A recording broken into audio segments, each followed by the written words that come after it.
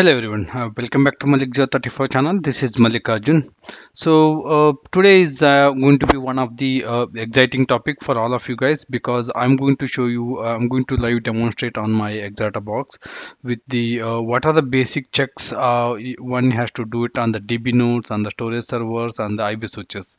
You know, keeping your all DB node, storage server, and IB switches in in a good condition and in a healthy state, it is one of the preliminary checks for all of the DBS and uh, you know uh, these are the checks whatever i'm going to show you are very very useful when you are planning for your Exadata patching or when you are planning for your platinum patching or when you are planning for your bundle patching or whenever you are planning to uh, do any qfsdp patching on your Exadata, box. So whatever the checks i'm doing it those are like mandatory and very very important checks pre-checks one has to do it uh, before the patching. And the same checks can be done after the patching to make sure that your uh, your Exadata components are running in in a healthy state. And also uh, these are uh, these are the checks which uh, helps for you know keeping your all uh, environment in a in a healthy condition. So you know before i get started with the technical and the lab demonstration if you are new to my channel always go back to youtube and search for mallik034 and then please do subscribe. If you like my videos please don't forget to give a thumbs up and please share with your friends and colleagues.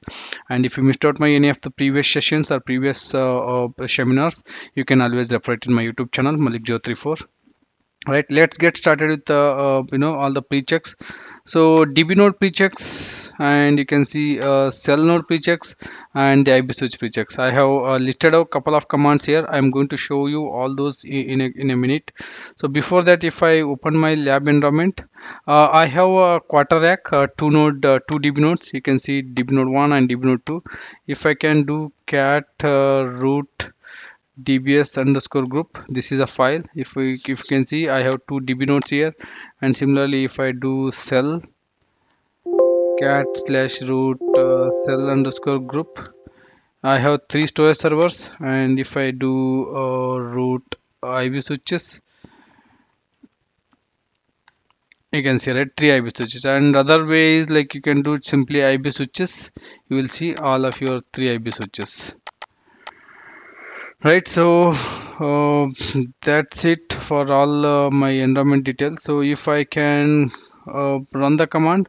So dcli is one of the brilliant tool uh, instead of running uh, each command on on both the nodes you can run it on any of the one node. It will automatically fetch the uh, information from the other node. I just wanted to check host name hyphen i and uh, you know uh, i can run this dcli command which will fetch the details from both the nodes you can see right node 1 node 2 and this is the ip address. And similarly if i do for uptime see node 1 node 2 and these are the uptimes. And if i do user own minimum 25 gb is mandatory whenever you are doing your patching on your grid home and db home if they are running on user own. So i can see right this is the free space and the root file system if I do DFFNH you can see a node 1 uh, 7.7 GB is free and uh, used and uh, available is 21 GB 28% used. And if I do minimum uh, 3 GB free space is needed on this root file system but we have enough root file system and boot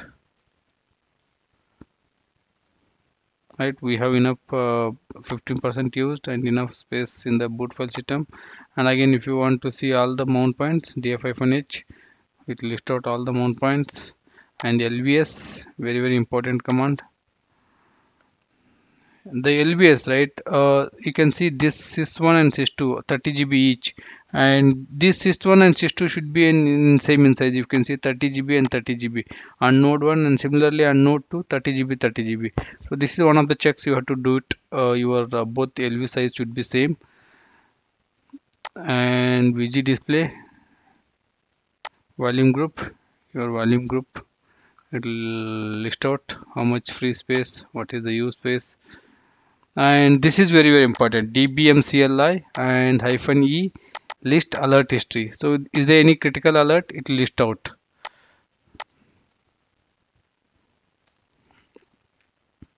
Right there are no critical alerts. So you can do a single node dbmcli so it will go to your dbmcli command prompt.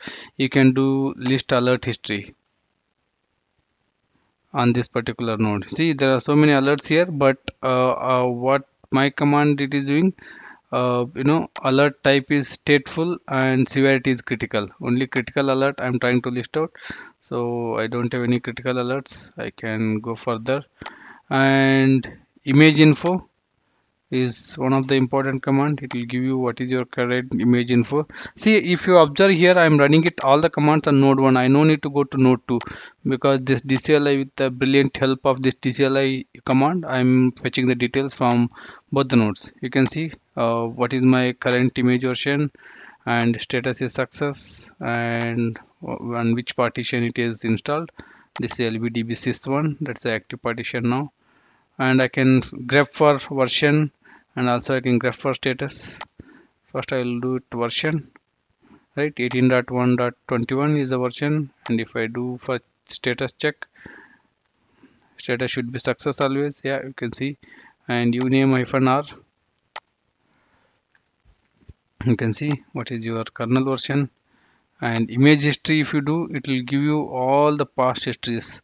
How many times you have patched what are the it started with this 1814 and then patch to 18121 right? So all the version history will get it and this is very very important command. Hardware profile check. Hardware firmware should be success. If there are any failures or warnings you have to fix that first. You can see success success on both the it's success. And this one the file L, uh, user bin ldd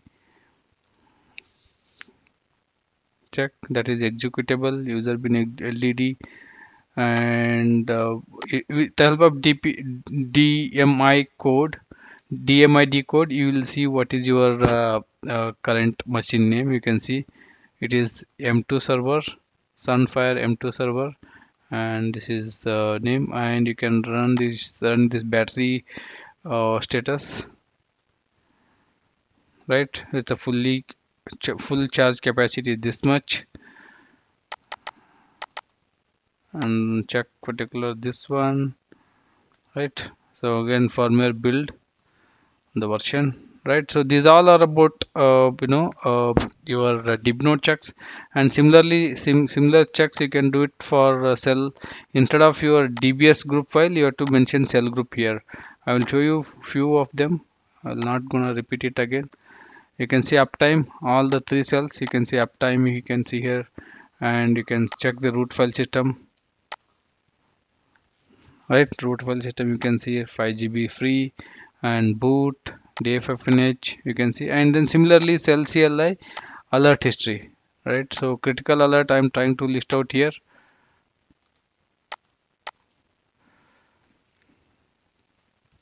DCLI hyphen so there are no critical alerts. So quickly I will do I'll connect to any one of the cell. See I connected to cell here. So cell CLI is one of the brilliant utility. Uh, you know you will get it in your storage server. You can see cell CLI if you just type it you will go to cell CLI and do list alert history. You'll see is there any alert history it will list out. And also if you can see list physical disk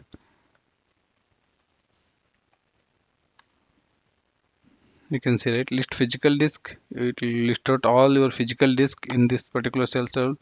And list cell disk. You can see all the cell disk you will get it. So this this is cell CLI is one of the you know very very brilliant tool. You can make use of that. And I can cover the cell CLI DCLI in, in, in my separate uh, lecture. I will cover all this in detail. So right now I'm my concentration is to check for all these uh, preliminary checks. Uh, I'm checking cell CLI list uh, cell service status uh, restart service MS service and uh, RS service right? You can see that cell S service status running MS service RS service all are running on cell 1 cell 2 also it's running cell 3 also it's running. And similarly if I check this is my uh, ASM deactivation outcome.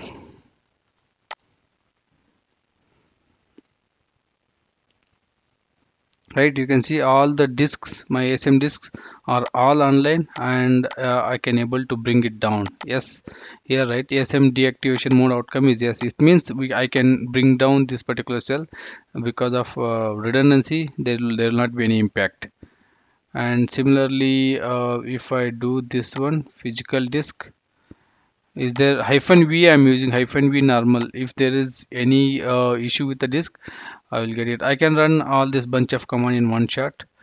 Uh, you know, if there are any fail fail uh, issue with the disk or fail disk, you know, I will get the output.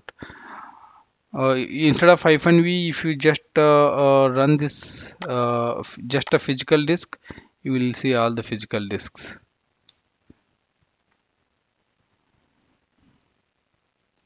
I already showed you right? Logging into that particular cell.